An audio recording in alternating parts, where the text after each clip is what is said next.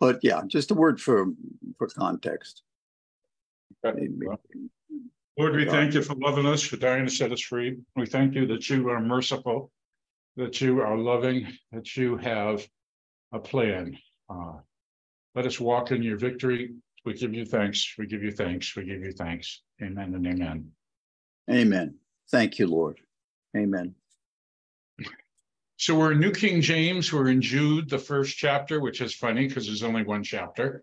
Um, and we're getting to we're getting to the end, and it, it, it's been a strong word against uh, those that cause division, those that are complainers, those that are grumblers, those that are walking according to their own way, the flatterers, and uh, strong warnings about people in our congregations that are uh, that are causing harm.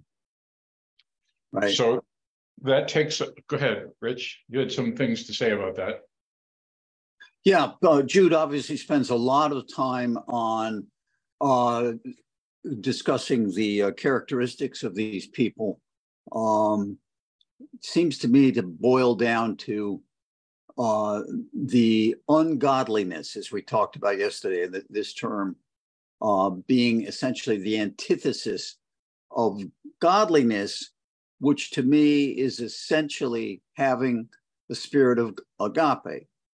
And uh, it's, uh, it, it's this is the focus, I think, of the people that we have to be wary of, um, and considering the characteristics that are given here.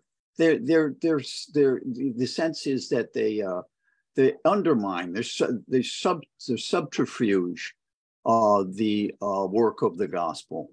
And uh, important that, uh, and as, as Jude will say very shortly here, um, they just don't have the spirit. Right. And, and, they just lack the spirit of agape, and their whole world is just void of it. And it just, uh, they're just very different after all. They, they can look very, they look just like you and me. They can draw, they can uh, enter praise and worship services and look just like us, raising their hands and so forth. But uh, when you get right down to it, uh, the spirit of agape just isn't there. Hey, Mike. Hey, how are you, bro? We've good. had a number of church splits over our time, and um, and sometimes good and godly people just disagreed about something, and they uh, went off to their own place. And sometimes, and we've had people who are just inherently evil uh, doing whatever they can for their own for their own good. So it's really hard to say from what category they are, but that we would love each other um, and have discernment at the same time is a is a powerful combination. Right. So we're picking up uh, verse 17 today against that, that that backdrop. But you, beloved, remember the words which were spoken before by the apostles of our Lord Jesus Christ how they told you that there would be mockers in the last time who would walk according to their own ungodly lusts. Okay. Okay. And if you want to check that, you can check it in Peter, you can check it in Paul's writings, um, and in uh, and in some of the Gospels that there'll be mockers, that they'll uh, they'll walk according to their own ways, and uh, and it'll get more and more emphasized the closer we get to the day of the Lord, which isn't just one day. Um, so you've been warned by me, Jude. You've been warned by Paul. You've been warned by Peter. You've been warned. You've been warned. You've been warned. Yep. Yep. Comes again and again. Uh, Lord, uh, verse 19. These are sensual persons. In other words, they live by the physical senses. They're not just not just talking about eroticism here, but uh, you know, there are people that say uh, you'll find many an atheist will say, if I can't uh, touch it, smell it, see it, it's not real. Uh, you know, that's that's their the realm. They, just no spiritual sense. They have they deal with they live in a world of physical senses sensations only, and they Which cause division not having the spirit. Yeah. Which is weird because we can hear less than 10% of the world of sound, and we can see less than 10% of the world of light. Um, are, you know, there's some animals that can see more and whatever, but so when they make a claim that they only trust what they see and hear, they're missing out on a whole bunch of the universe. Sorry to cut you off, Mike. I, like, like, how do they describe smell back then? Like, you know, it's coming from the incense. Yeah. You can't see it or, or whatever, it's coming from fruit or whatever. Yeah. You know, it's coming from there. You can't see it. There's no physical evidence of it except for the smell, That's right. but you can't see it. You can't see Right. smell. Yeah. And certain animals, then again, like you were saying, have a super smell. They can sense. Or they have a super whatever. Yeah, yeah. You know, they Mhm. have super eyes and a Yeah. super radar or whatever. Yeah. But Yeah. so to say that everything you see is all that you trust in is really a, a limiting statement because there's a whole bunch of things you can't see, love and, and uh, all of the atom stuff that's uh, Yeah. Protons and neutrons are separated. But anyway. I mean, they knew what they were talking about back then, obviously. You know, That's of right. everything being made of that which is unseen. I mean, we look at it now and say, oh my God, you look under, we can't even understand what we're seeing. And, and the fact that we thought we were seeing the end of the universe and the fact that it just keeps going and going and going and going, you know? Yep. Um, nothing but God. But you, brother, go ahead, Rich. Yep. Twenty. Yeah, that, so this is the last word that uh, that Jude has directly uh, aimed at these people. Let me just read it once in the NLT, verse 19. Um, these w- these people are the ones who are creating divisions among you. They follow their natural instincts, right? Sensual, natural instincts because they do not have God's spirit in them. That's the last word. They don't have God's spirit. Very interesting. Verse 20. But you, dear friends, must build each other up in your most holy faith. Pray in the power of the Holy Spirit and wait for the mercy of our Lord Jesus Christ, who will bring you to eternal life. In this way, you will keep yourselves safe in God's love. That's all Or the more traditional reading is in New King James. King James, same version, uh, verse 20.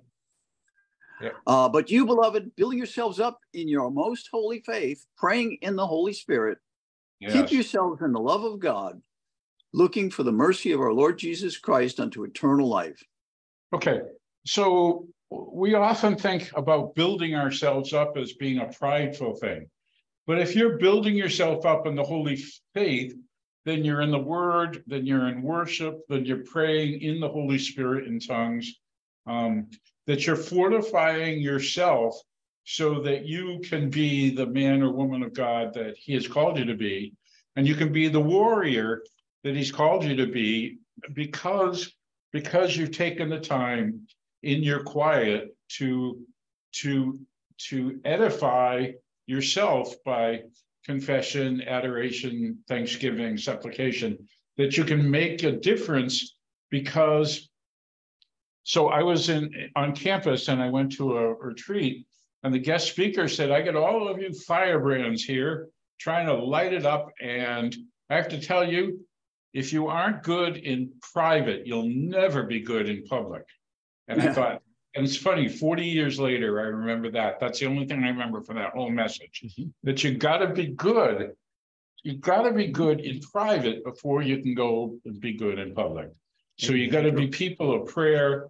You got to be people of worship. You got to be people of of the word. You got to be people of that there's a time. So I think about our special forces. Our special forces train seven days a week.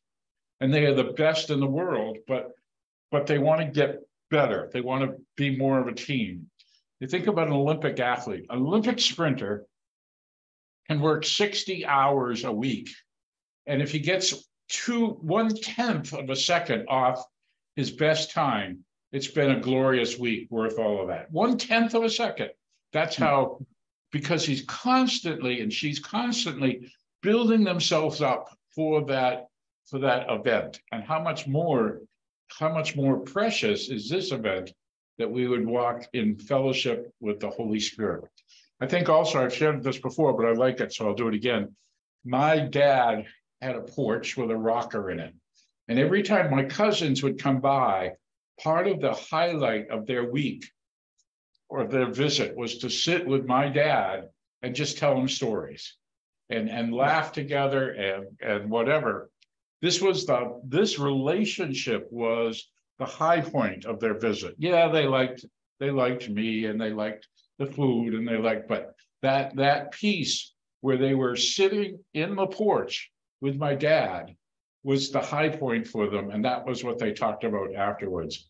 And it was glorious. So, so how much better that we have a relationship with the with the good, good father, the creator of the universe. Build yourself up and keep yourselves in the love of God, looking for the mercy of our Lord Jesus into eternal life. So there's grace here, there's justification, sanctification, and glorification. And then um, this is the Christian walk. Mm. And the contrast is between this and this. These are grumblers, they're mockers, they're, they're filled with ungodly lust, they're cause division. And you, and you build yourselves up in the holy faith, pray in the spirit, and keep yourselves in the love of God, looking for the mercy of our Lord. Amen. And we talked about verse 22 a few days ago, but we'll do it again. Yeah, you must show mercy to those whose faith is wavering. That's NLT, KJV, and KJV. And on some have compassion, making a distinction. But others, verse 23, save with fear, pulling themselves out of the fire, hating even the garment defiled by the flesh. Okay, so this is a sometimes people get saved by love, compassion, and sometimes they get saved by fear. Now, it's not it's not better. oh, I got saved by fear. Well, I got saved by love. There's no there's no better there. There's the save there. Um, making a distinction, but others say with fear, pulling them out of the fire.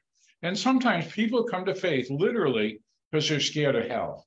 And I, um, you know, that's a reality. Some are saved because they've been loved into the kingdom, and that that well, Jesus himself brings that out.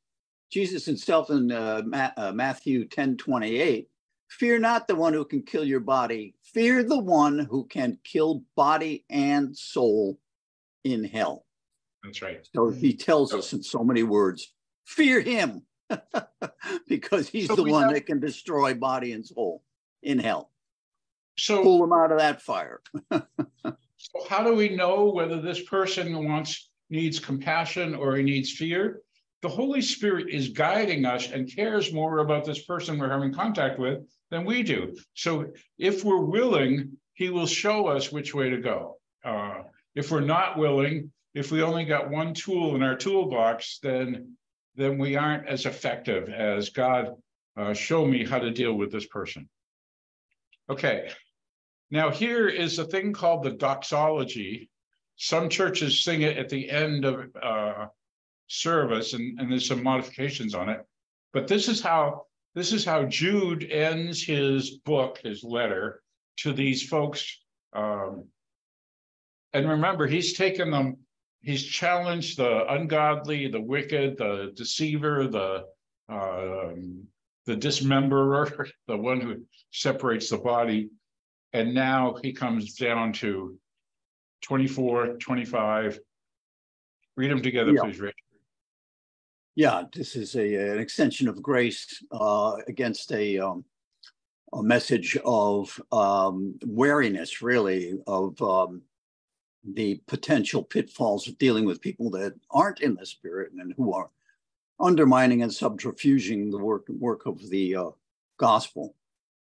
Verse 24, against that backdrop, he says, now, to him who is able to keep you from stumbling and to present you faultless before the presence of his glory with exceeding joy, to God our Savior, who alone is wise, be glory and majesty, dominion and power, both now and forever.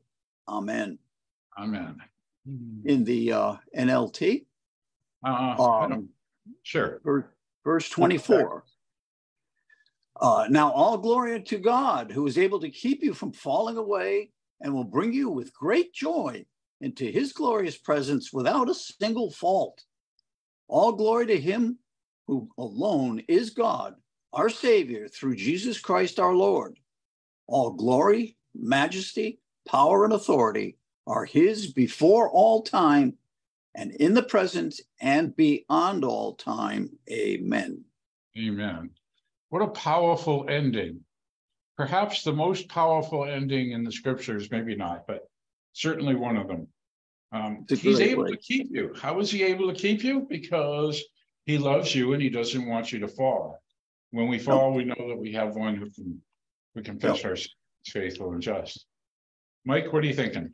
I'm thinking that um, as as a Christian and um, going through times, good times, bad times, all times, uh, we all as Christians um, go through different times, and the closer we are to Him, the more we're able to endure hardships and different things because we have our focus on the Lord Jesus Christ Amen. and our salvation. It's like um, to die is is to go to heaven, and to live is to go on and do what God would have me to do. You know, yeah. to live out this life, and um, with your eye on on salvation and eternity, and seeing our loved ones, and just being in glory with Christ is just more valuable. So through the hard times, I tend to lean more on the privacy of my own home and worship. I read every day. I I consume my life with with reading and, and a lot of stuff. It's funny that my mom did when she was alive. and, sure and, and, so the times that I have that I'm by myself, I've had people come by the house and say, oh, you're listening to the Bible. It's like, yeah, that's kind of what I like to do. you know what I mean? I really enjoy. I, I finally I hit the New Testament. I'm in Matthew now. Yay! I've uh, I've read through the whole entire Old Testament. It's taken me a few months. I'm, I'm it was really good. I'm glad I did that. Amen. But, but each step of, of I just want to conclude by saying each step um, it drew drew me closer to him in my my prayer life and my uh, research and my daily uh, prayer and word life. Um, it's it's it's really changed my life, and it just I feel like we're in the end times, and uh, it's time to hold on and and maybe yeah by fear. I I'm not so much as um, in fear of hell now. I'm in love with Christ, you know. So um, yeah, it helps. Drawing close to Him will get you through. Amen. Amen. we're going to attempt to be in Mark tomorrow. Uh, so if you want to read ahead, that's where we are. Final thoughts on Jude, Rich. Yeah, very powerful letter. We've given this once over, as I said. Um, there are uh, we've got commentators that have put that, uh, for which you can uh, research eight hours of video yeah. on this one page. Uh, it's that extensive. There's so much built in here, um, yeah. but uh, it drills down into Old Testament stories that uh, are really rich if you put the time into it. But uh, the overall yeah. message is, you know, be wary, but in the end, God alone can bring you to a position of salvation uh, in his majesty and glory. And that's what we have to look forward to. Cling Amen. to that view. Amen. Lord, Amen. we thank you for loving us this much. We thank you for the challenge of the book of Jude. But we also thank you for the victory in the book of Jude. Lead us, guide us. Let us not only be hearers of your word, but doers. Transform me, O Lord, so I can make a difference. In Christ's name, amen. Amen. Thank you, Father, for this day. I ask you to just bless our pastors, Lord God. Um, heal them as they've been feeling under the weather and um, continue to bless them, Lord God. Con- to continue to look after your flock, Lord, here. And um, to the people that can't even leave their houses that are able to listen online, I pray that you bless them also, Lord yes. God. And be with each and every one of us today in the decisions we make, Lord God. We thank you for the book of Jude as we we thank you for each and every one of your scriptures and every yes. day we give you the praise and thanks. Yes. Amen. Amen. Yes, thank you, Lord, again for your word, your spirit, and the direction you've provided for us. We just simply ask for your continued leading that we may live lives that glorify you in Yeshua's name. Amen. Amen. amen. Blessings to you all. Amen. Bye. Bye.